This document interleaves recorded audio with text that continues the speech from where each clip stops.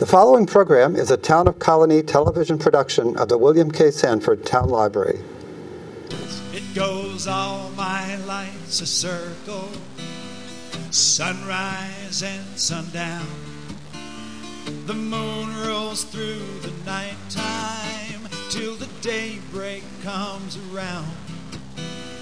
And all my life's a circle, I can't tell you why.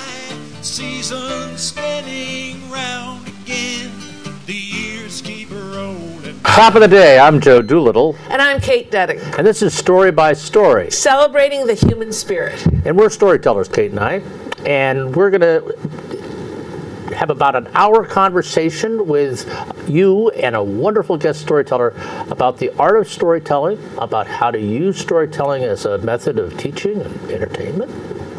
Anything else we're going to try to do? Not tap dance today. Not nope. dance, And, and I'm not playing the kazoo. I decided that that was going to be off the off the table. Right. Okay. Um, but I've had a I've had a wonderful month of traveling around and doing stuff. How about you? Well, I've had a yes, uh, not too much traveling, but first Elizabeth Ellis graced my home once Oh. again for a weekend workshop. And tell our listeners her. Elizabeth Ellis is one of the finest storytellers in the country. She has been recognized by the National Storytelling Network uh, by two awards uh, the Circle of Excellence Award and the Lifetime Achievement Award. And there are only two dozen or so people who have received Yeah. that last award. So, and she's also a wonderful harvester of story or, or midwife. midwife of, Of stories. That's a good line. That's a good line. Uh, so she did that, and she did a a, uh, con- a house concert at my home. Oh, wonderful. So two things I want to share about her. One, in the workshop, she said that she wanted to share something that she learned from the singer-songwriter Tom Paxton years ago. She took a workshop with him, and he said, "Every day I wake up and say, I'm a singer-songwriter. What am I going to do as a singer-songwriter today?" He said, "Some days I have I, I am at home and I can work on no, new songs. Other days I'm traveling, so creating a new song is hard.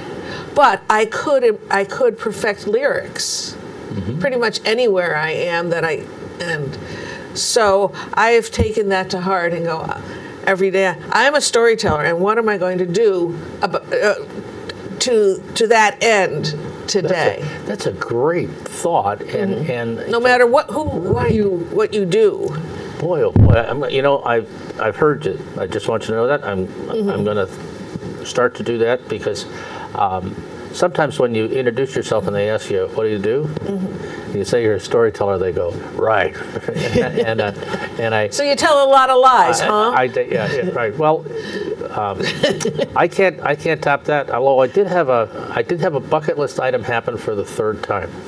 for the third time You know you're what- only supposed to dip into the bucket once Well, i if, think if you get a bucket list going around more than once, that's that's like a just a big bucket. Mm-hmm. Um, and, and you know how I used to, I, I went through a phase where I was giving away red noses and yes kazoos. I- in fact i vacuumed up one from underneath the bed it, it, it, it all of a sudden the vacuum cleaner wasn't working so well and i pulled out a dusty red nose Well, I was just all over with these red noses, and uh, so I, my wife acted on it with a surprise birthday party, and I got to lead a parade with a red nose and all my friends and noses and kazoos.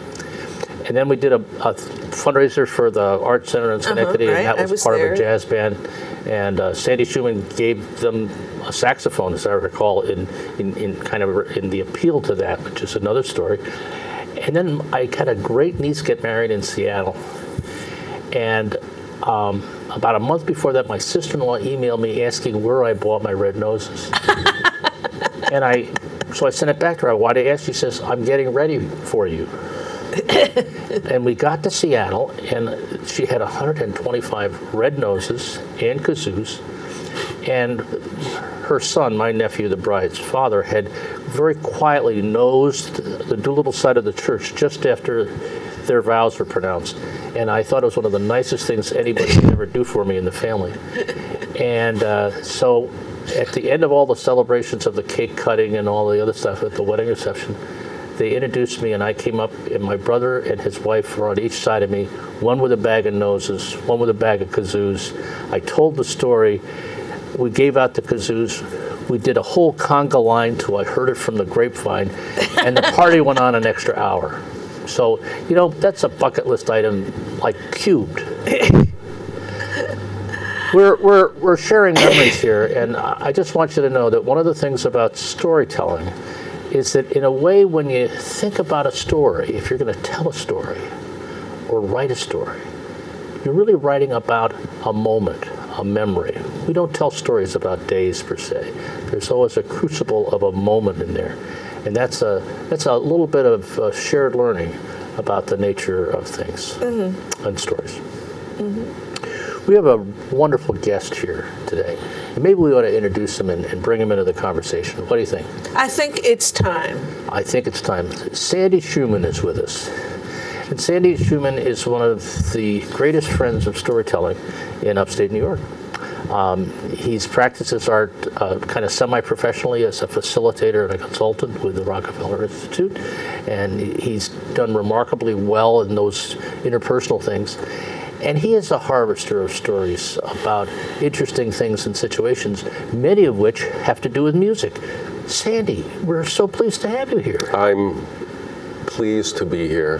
What a word, pleased. Pleased It's to be here. And, and one thing he did as a facilitator and as a storyteller, he had the idea that we could, the, the Story Circle Guild could produce a book of an anthology of our stories, and he took it from its its this idea and he carried it through with what I thought was an over elaborate process, but turned out to be just what was needed. You mean when you- feedback? Um, in, I think four level, four times you got feedback on your story, and I had one story that I thought was pretty good, but was even better by the time you know Marnie suggested that part, and you know, so it was it was a wonderful, and it happened, and it's available.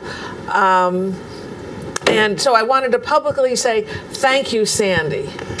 Thank you, Sandy, for that. And, and at first, we did think you were going a little bit overboard when you brought in the professional editor, but uh, that turned out to be one of the key elements of the whole It- book. it's being it's it's a quality Yeah. book that I'm I'm pleased to uh, give out to friends and sell to others.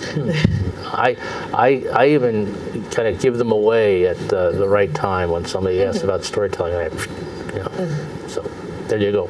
But Sandy, were you always a storyteller? Well, I could tell you a story. and that's why I'm laughing because I've heard that story. uh, when, when I was a child, uh, bedtime, my father would tell me stories. And they were not stories that he read out of some book, they were stories that just came out of his head. And they were mostly stories about him, you know, his life. And, and uh, it amazes me today that there were certain stories that I wanted to hear him tell over and over again about when he was a little boy. Anyway, that would come to an end and it would be time for me to go to sleep. And so I, he would kiss me goodnight and I'd have this image in my head of a, a grandfatherly figure with a big book open and a little boy sitting on his lap. And they were coming to the end of the page and this story that they were reading was the story of me. It was the story of my day.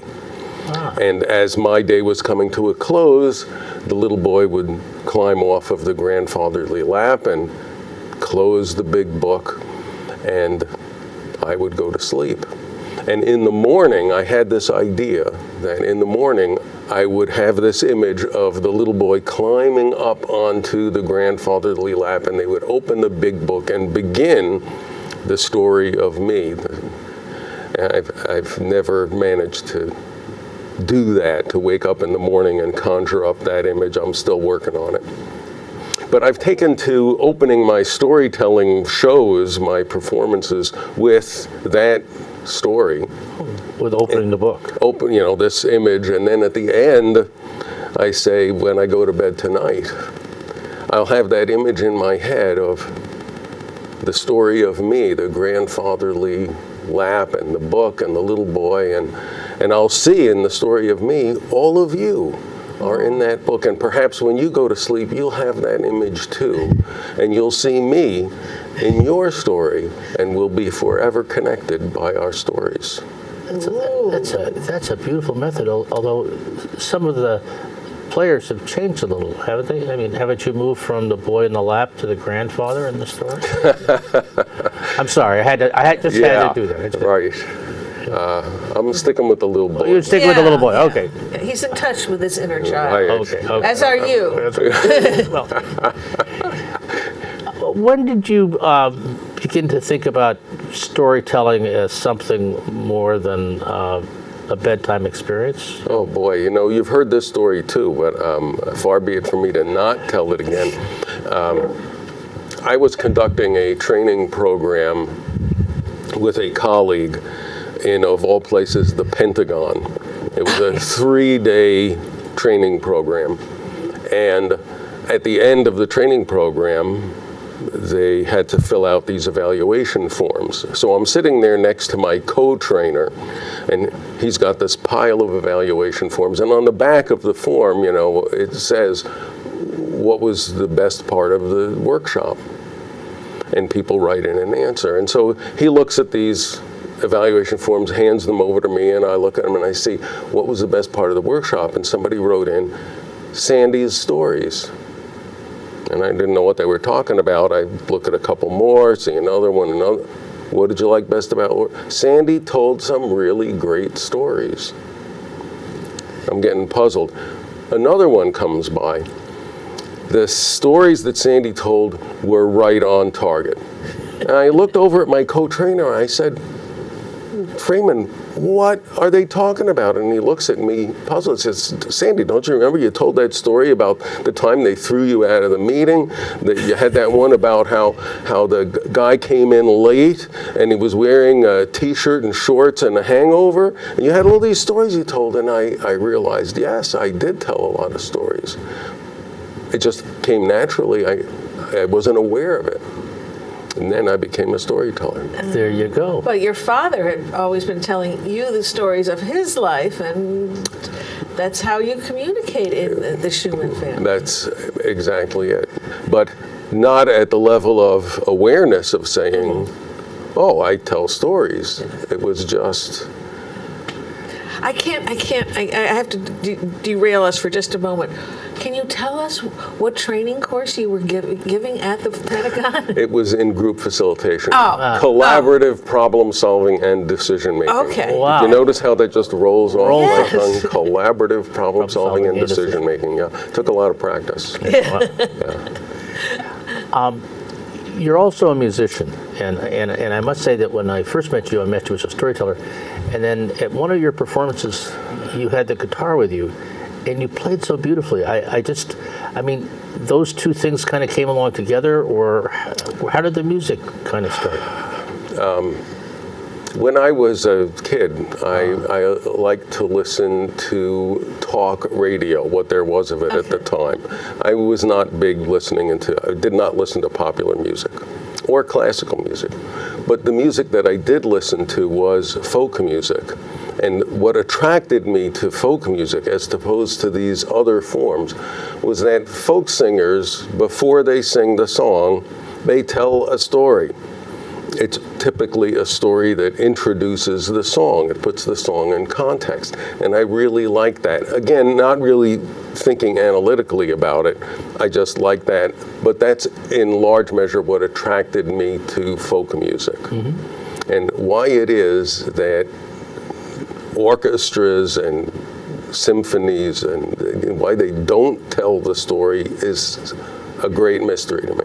Although some of them do. The Colonie Town Memorial Band does that. Ah. and Our one of our Bob Suss. faithful listeners, Bob Sus, Suss, is the one who comes up with the commentary before each piece.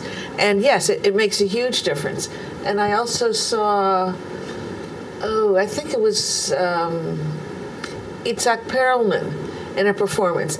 And two thirds of the way, he says nothing.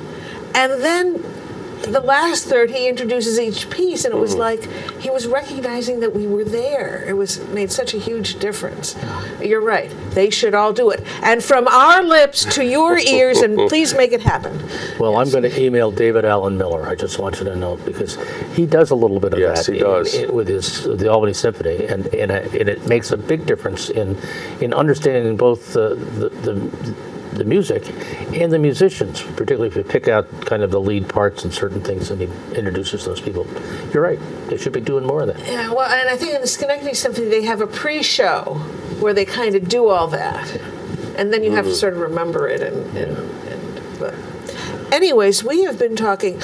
Oh, you have a new program or a, a new a, a, a, a title that encompasses a number of stories, many more than you can tell in one hour. New York Tales, tall and true.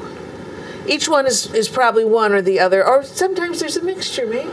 Sometimes, I I would say often. Often, often, isn't that a lovely? Yeah, the, the, the subtitle there is uh, some of New York's. Uh, uh, Uh, is it there? I can't remember. You know, you'd think I would. Oh yeah, it, It's- it, it's there. It is. Read Some that. of New York State's folklore is truly unbelievable.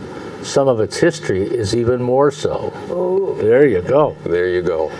Do, Yeah. do you have one of those stories I, here, or do you- funny you should ask. Oh, Yeah, as We a matter of fact, this. I do. what a segue! What a Yeah.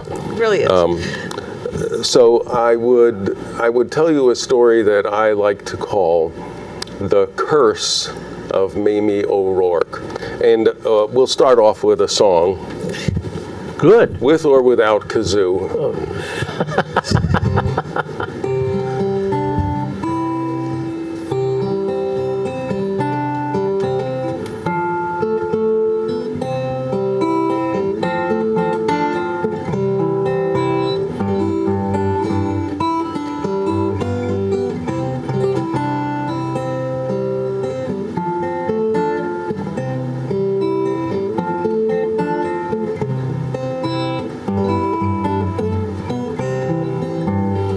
That's where Johnny Casey, little Jimmy Crow, Jakey Krause the baker, who always had the dough, boys and girls together, we would sing and waltz while Tony played the organ on the sidewalks of New York.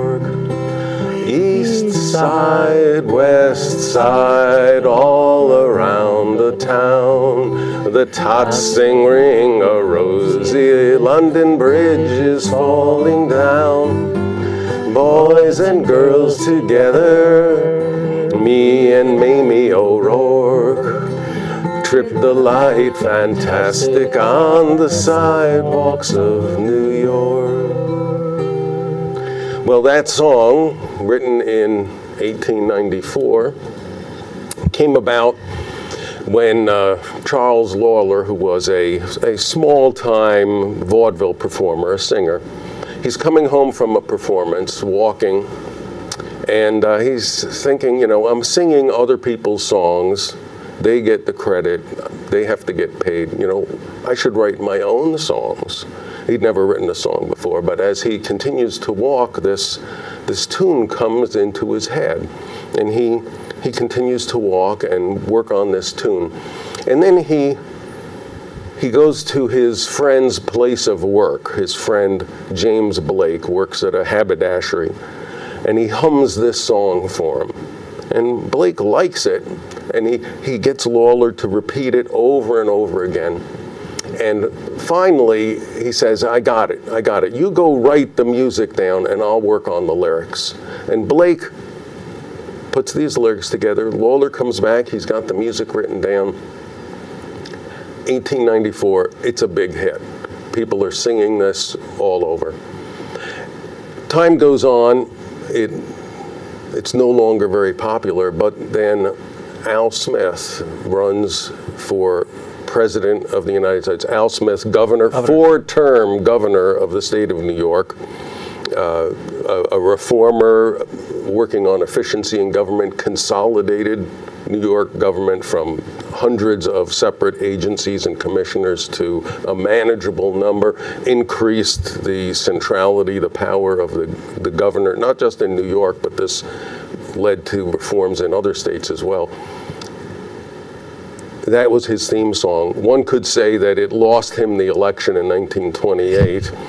Uh, he carried eight states. Herbert Hoover got the remaining 40.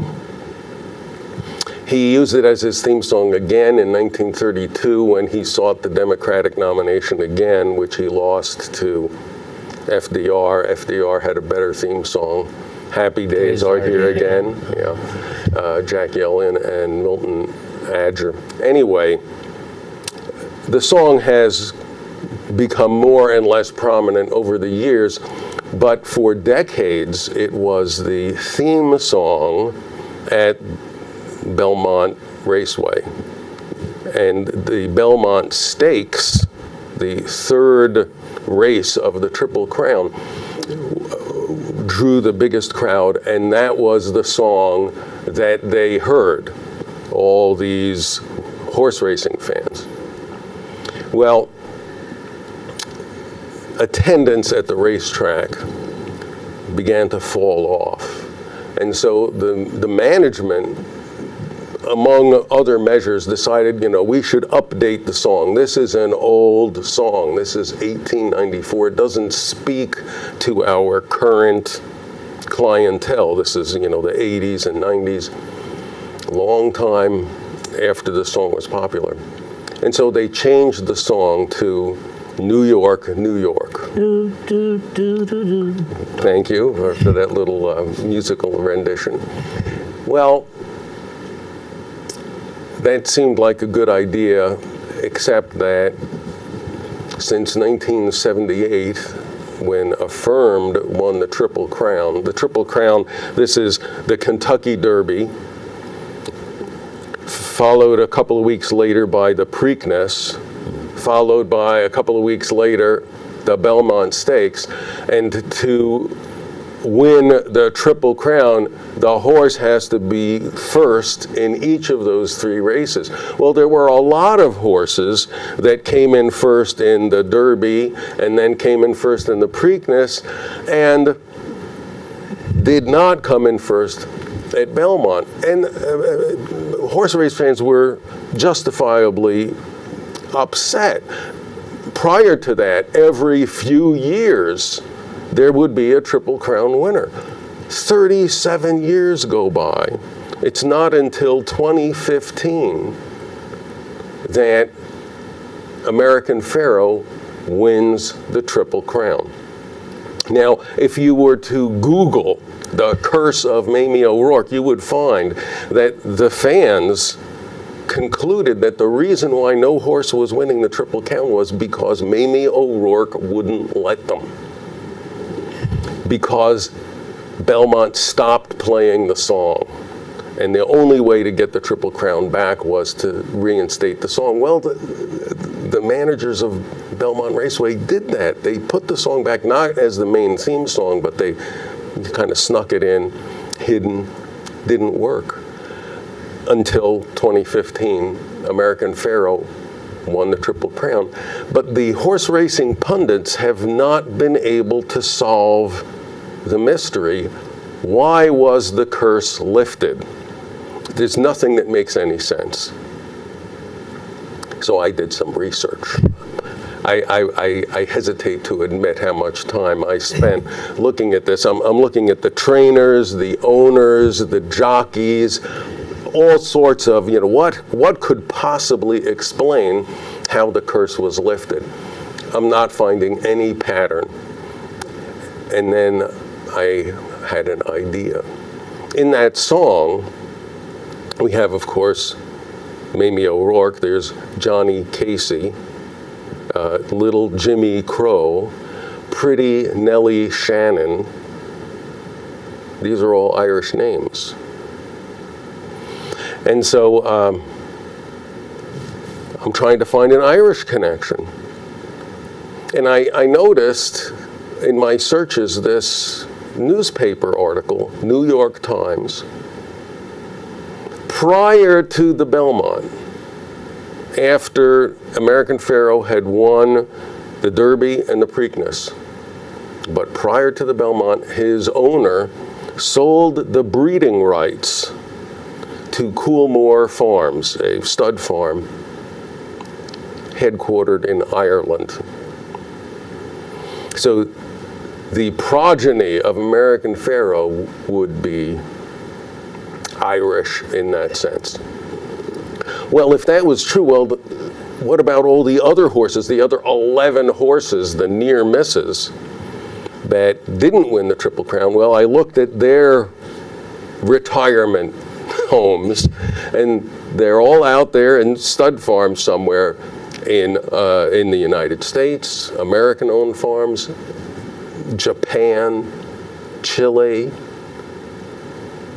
None of them are on Irish farms except for American Pharoah. So that's my explanation that Mamie O'Rourke lifted the curse because American Pharoah would be breeding for the Irish. And so, with that uh, puzzle solved, we can now sing the entire song, or at least the verses I didn't get already. Uh, down in front of Casey's old brown wooden stoop. On a summer's evening, we formed a merry troop. Boys and girls together, we would sing and waltz while Tony played the organ on the sidewalks of New York. And that's where Johnny Casey, little Jimmy Crow, Jakey Krause, the baker's son, who always had the dough. Pretty Nellie Shannon with a dude as light as a cork. She first picked up the wall step on the sidewalks of New York. Things have changed since those times. Some are up in G. Others they are on the hog, but they all feel just like me. They'd give up all they've got if they could once more walk with their best girl and have a twirl on the sidewalks of New York. East side, west side, all around the town. The tots sing ring a rosy. London Bridge is falling down. Boys and girls together, we would sing and waltz while Tony played the organ on the sidewalks of New York. Wonderful, wonderful. I'll give you a real clap. So you solved the mystery. I, I believe so. I think I found the reason why Mamie O'Rourke lifted the curse, thankfully. Thank you, Mamie. So I, I do not keep up with the horses. What happened in 2016, 17, and 18? Any Triple Crown winner? Well, we just had another one, I think. Yeah. Justify? Justify, yeah. Okay, so so Yeah, okay. So the curse would appear to be lifted. Uh, um, the, the, the horse racing pundits are still struggling, but um, Have you contacted Belmont? uh, can't say as I have. Well, you know, you know that the, the New York Racing Association, which runs these racetracks, you know, should be informed about the error that they, you know, that they committed, and, and perhaps we could start a little appeal to bring back the song. Oh, there, there were many. Oh. Um, uh, there, there really, uh, the, the fans were vociferous, and that's why they they reintroduced the sidewalks of New York, but you know, played by the bugler or something, not not the main song, and um, so the curse theory uh, took further root. I, w- I would think that we could get them to bring it back just for the s- draw value of the story of the curse. Uh, one would hope, One would hope. right? I think you should tell the story there. Right. Okay. At Belmont. You set that up for me. I'll, All right. All right. We'll put that in the production Now, company. Tell, tell your manager. Tell your manager, yeah. Right, I'll tell my manager to do it. Good idea. Yeah. Um, there's, a, there's another uh, somewhat interesting footnote to the, to the song, 1894. So it has this line um, Some are up in G. Things have changed since those times. Some are up in G. Well, what does that mean? Well, the linguist societies of America uh, and various blogs and websites have researched this extensively, trying to find other instances from, from that era or earlier where that phrase is used, and many theories about what that means.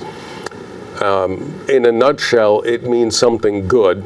You know, up in G. One theory is that it's a musical illusion. Uh, G is the letter of the highest note in the scale, A, B, C, D, F, G, and then you start with A again. Um, it uh, it could stand for Gramercy Park, you know, private park in Manhattan where you have to be a little well-heeled in order to live there.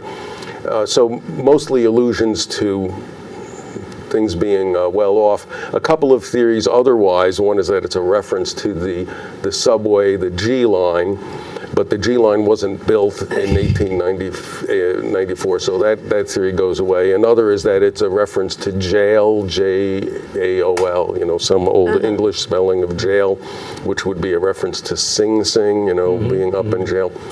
That one doesn't get a lot of merit. And the other phrase is, uh, others they are on the hog. Others they are on the hog, but they all feel just like me.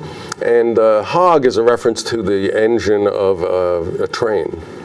And um, you know, the head hog is the head engineer. So it's, it's apparently, from what I can tell from the slang dictionary of America, uh, still the the engine may still be referred to as a hog, but um, on the hog means you're riding the rails. You're a tramp. You're not doing so well. Oh, wow. You're a bum. So some are up in G, others they are on the hog, but they all feel just like me. Good nostalgia song, eh? Hey, it's a and a, and a nice solid bit of research, Sandy. I think that's really good. It was a pleasure listening to it. Oh, man. We'll be back uh, with Sandy, and uh, right now Kate's going to kind of tell us what's going on in storytelling uh, in the month of November, the month of Thanksgiving. Yes, and it starts on the first Tuesday of the month at Tuesday Tales and Stuff at Arthur's Market and Historic Coffee House in the Stockade section of Schenectady. On November 6th, Stories of Gratitude. And it's an open mic for storytelling, music, and spoken word. So come on down, enjoy the food, the atmosphere, and good times shared by all.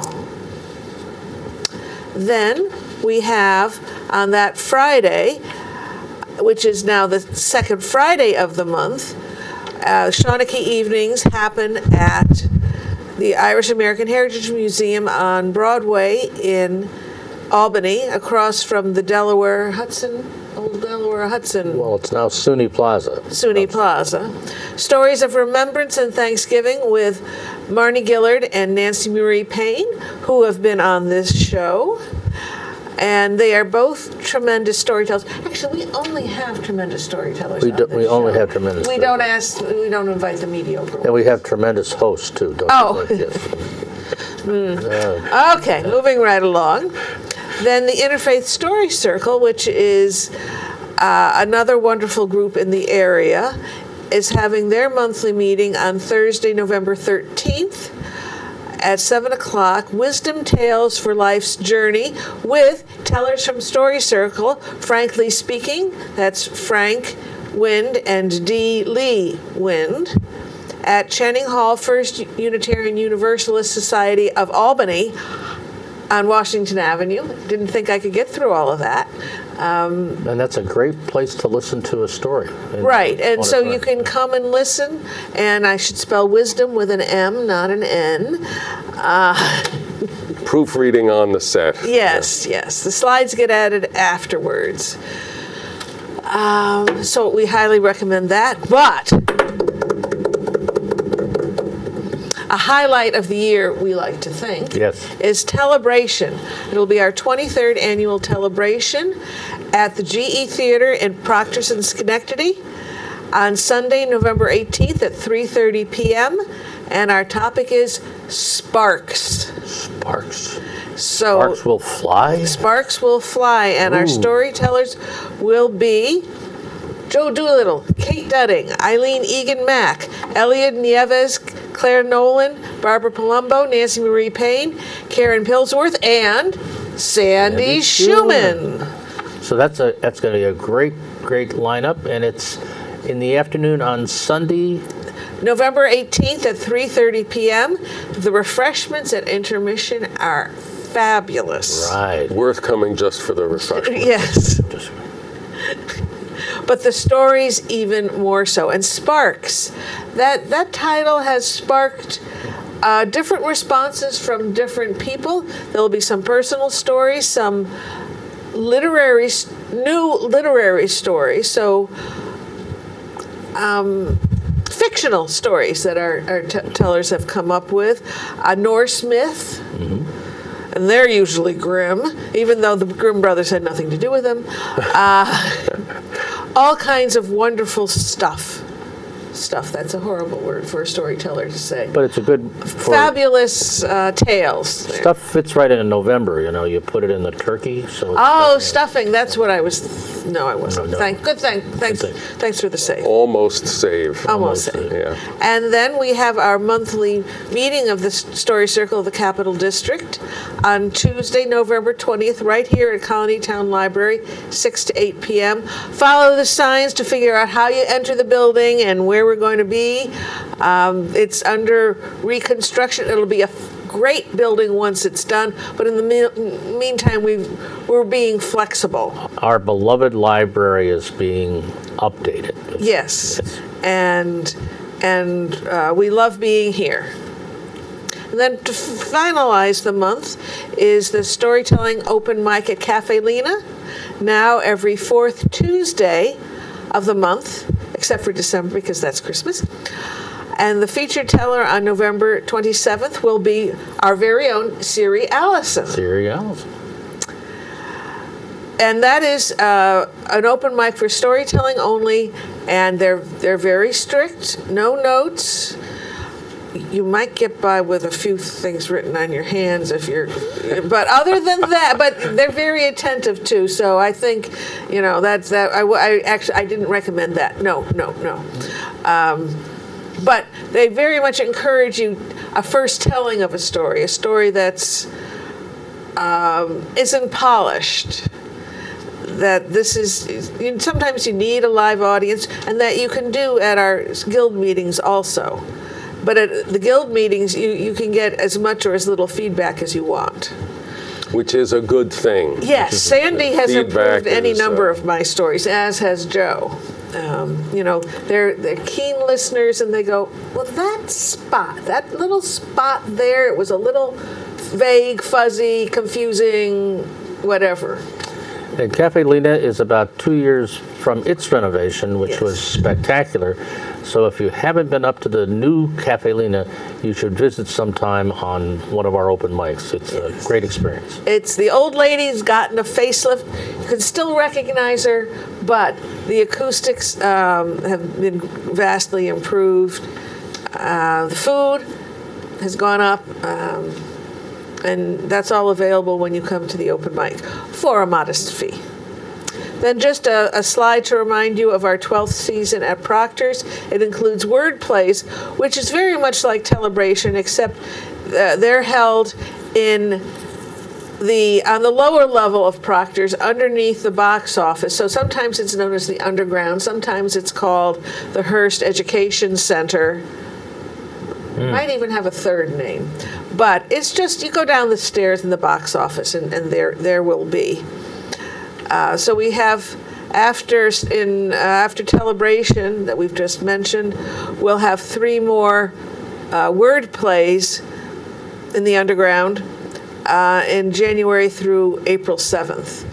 I'm looking forward, uh, all of them starting over Inside Out. I don't know what people are going to come up with for Inside Out, but Siri, Joe, and I. Siri produces a word Place up in Salem. We, we somebody came up with a bunch, and then others said, "Well, these are my favorite," and so we all sort of chimed in on it.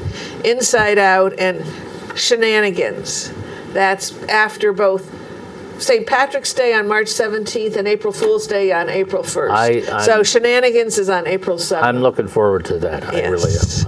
I. So, and if you can't make it out to any of our uh, events, or if you're dying to hear a story someday, we're available on demand on YouTube, and not to come to your home. No.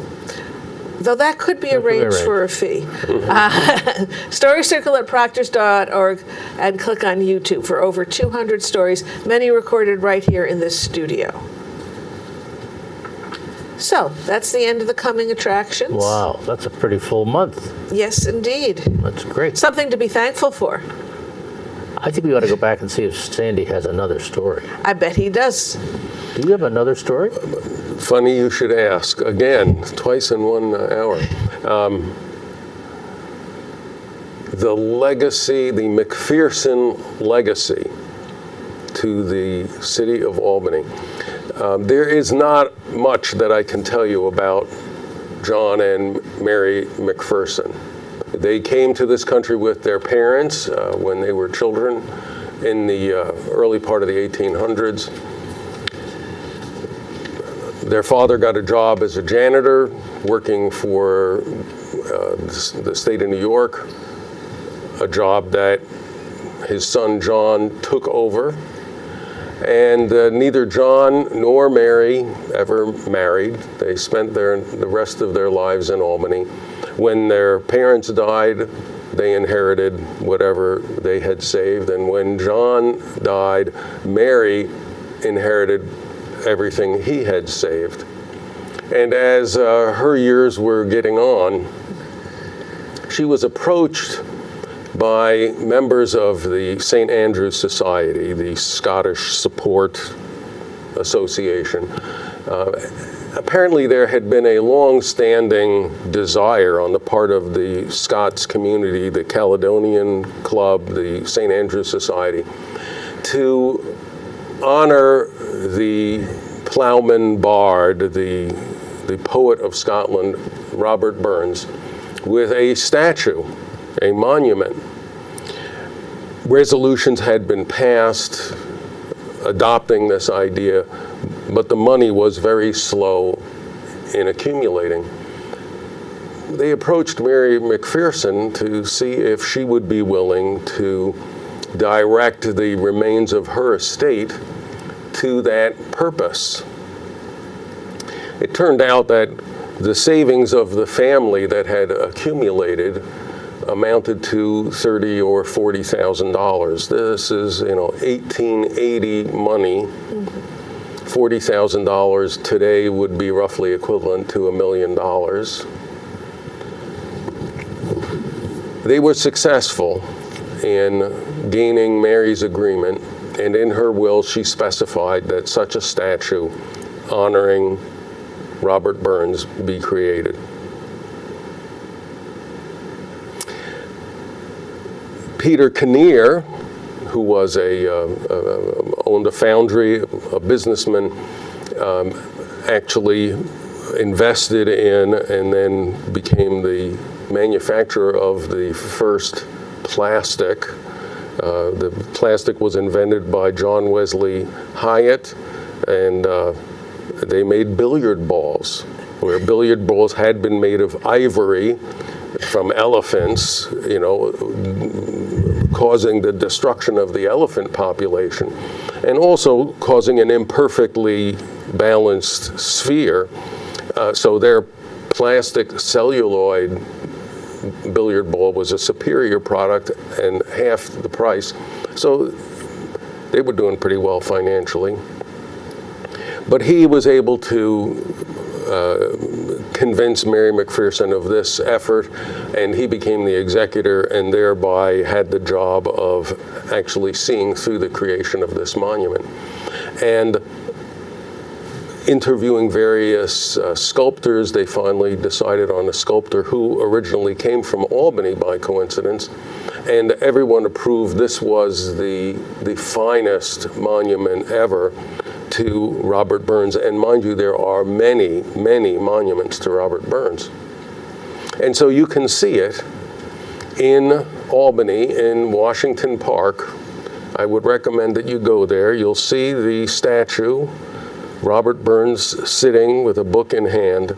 And along the footing of the statue, you'll see various quotes from his poems and songs. And on the pedestal, the, the, the granite pedestal, on each side is a scene from one of his songs or poems, including one from Auld Lang Syne, picturing a couple of guys sitting at a table with mugs in their hands.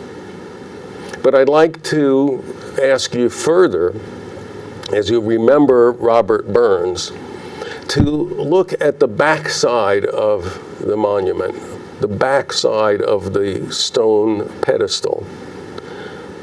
A few inches above the ground, engraved in the stone, you will see the words McPherson Legacy to the City of Albany, 1888. And so you might remember Robert Burns and his literary contributions, and you might also remember the McPherson family, John and Mary and their parents. And so, in their honor, as well as in honor of Robert Burns, we should sing his best known work. It, uh, it gets sung a lot, I think, at least once a year on New Year's Eve. For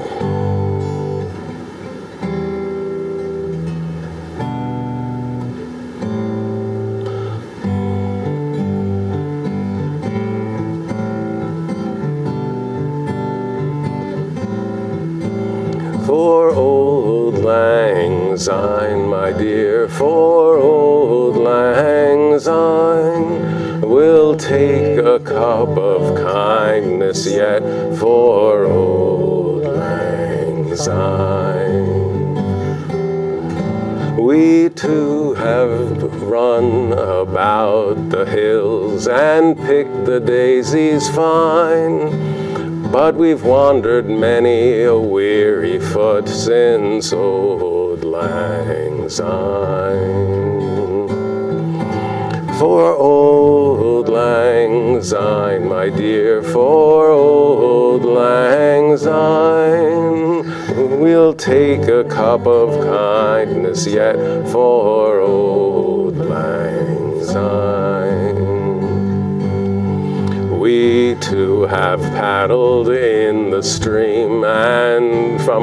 sun till dine. But seas between us broad have roared since old Lang Syne. Here's a hand, my trusty friend, and give us a hand of thine. We'll drink a cup of goodwill and old Lang Syne.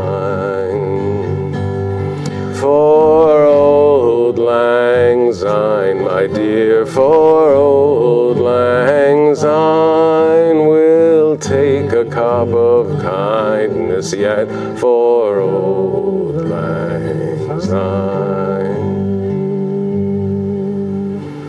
For Old Lang Syne. Just For long, old Lang Syne, old long since. old long. Thank in you. I a was- literal sense, but uh, you, uh, idiomatically, it would be, you know, for days gone by or for old time's sake. Oh, So how did you trip across? Well, McPherson's? uh, okay, so I was in the Albany Public Library decades ago, and um, I can't really put this politely. I, I had to use the men's room, and I thought I would uh, take something in the men's room to read. And so on my way to the men's room, I just picked something off the shelf And that something turned out to be the historical sketch of the Burns statue from 1888. And so I'm reading about this statue and how it was created, and it's as fortuitous as that, or serendipitous as that, really. Sometimes you find the story, and sometimes the story finds you. There you go. Uh, I mean, I, was, I thought he was going to say he was with one of his kids playing in the park and noticed the, ball, affirmation at the statue. that would be a better, a better story, but That uh, would it be a wouldn't be tall true. one, though. Right, right. And uh, indeed, uh, you know, I've, I've looked at this inscription at the base of the pedestal. Unless you're looking for it, you won't notice it. It is the same color as the stone. It's engraved, but it's it's low down. I mean, it's not at eye height. well it's uh, right. It's not lit. I mean, it's in shadow you don't see a difference in the light between the stone and the engraved letters. I've tried to photograph it. Yeah. You look at the photograph, there's nothing there. It's, it's really nondescript, obscure, Maybe on a cloudy day. With a bright light shown at an angle. I've thought about how, how can you photograph this so it would actually show up?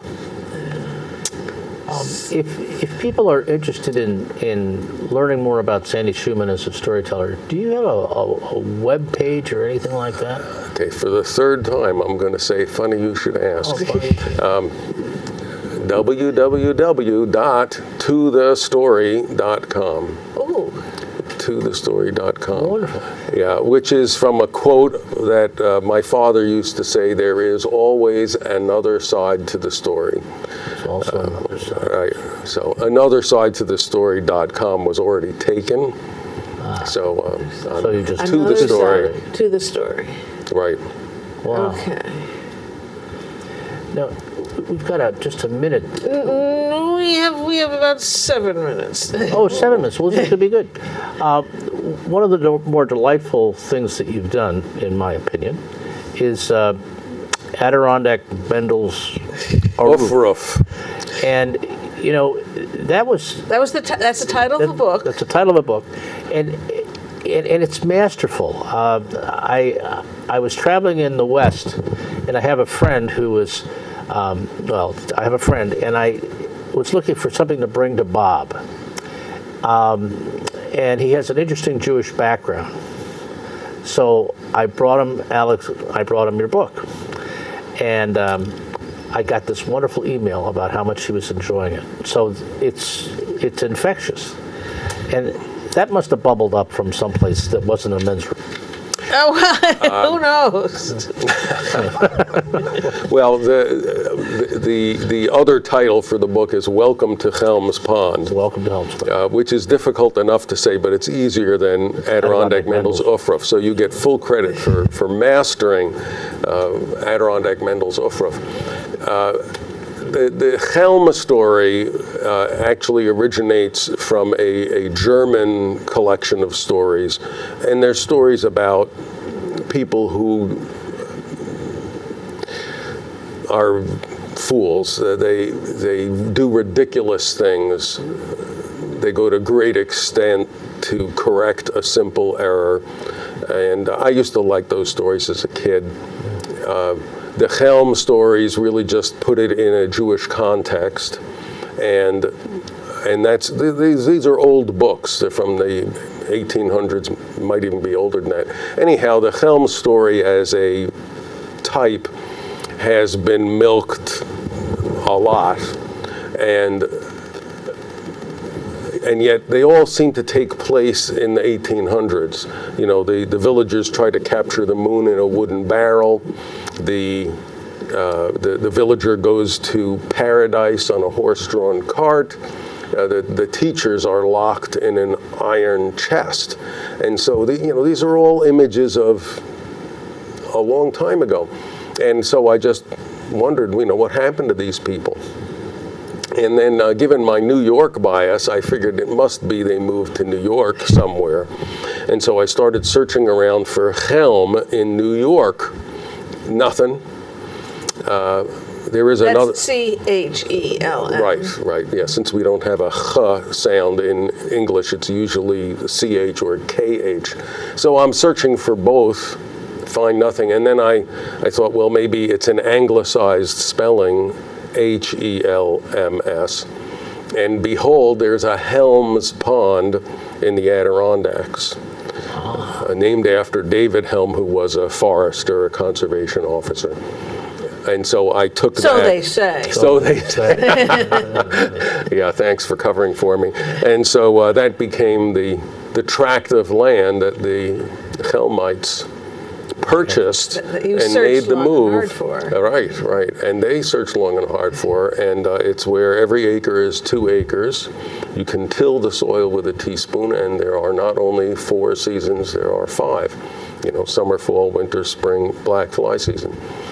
Um, so that, that provided the, the geographic uh, context for these stories, and m- most of the stories are old stories, jokes that I have imported into that Chelm context, which is the storytelling process, the, the folklore process. You take an idea from here and an idea from there, and you smush them mm-hmm. together, and before you know it, you've stolen a lot of mm-hmm. ideas and mm-hmm. retold them.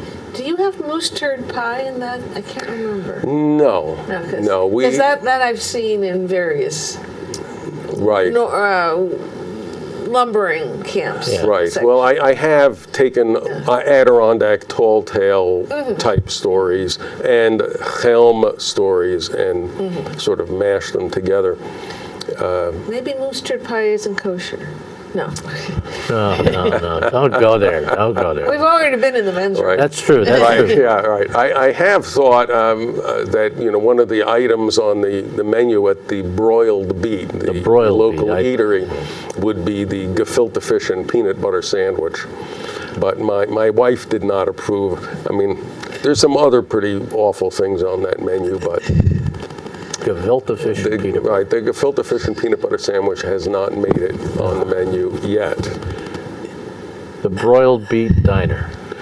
Uh, and What's the name of the waitress in the broiled beet diner? Bloomy. Bloomy. Bloomy. The- all the names in the book are people in my family. Bloomy is my sister, the, the crazy oboist who lives out in San Francisco, and, and, and so on. I, I didn't want to defame other people's names. I figured I'd keep it in the family. So Bloomy is a nickname or? It's my, my sister's uh, Yiddish name. oh, okay. Finish it. Yeah. So, you know, typically, like my, my Yiddish name is uh, Sender, Hebrew name, which is taken from Alexander the Great. I'm named after Alexander the Great. That's another story. Yeah. Wow. He was Jewish? Uh, okay. We have. No, No, sorry. We, we we have less than a minute now, so we have to start saying goodbye. Well, Sandy, I am so touched and pleased that you've been with us today. It's been just wonderful. And Kate, you've had a you've had a, a great run with all the things that are going on, and we appreciate your being the organizer of all this because without you, we would just be lost. Sort of a ringmaster, three ring Ringmaster, circus. One to rule them all. Well, to take, anyways. Uh, and we want to thank you all for joining us, and that you, we hope you'll join us at a live performance, or if not, back here on your cable network. Or online at Story Circle at Proctor's YouTube. Goodbye. Au revoir. It goes all my life's a circle, sunrise and sundown. The moon rolls through the nighttime till the daybreak comes around. And all my life's a circle, but I can't tell you why. Season's spinning round again, the years keep rolling by.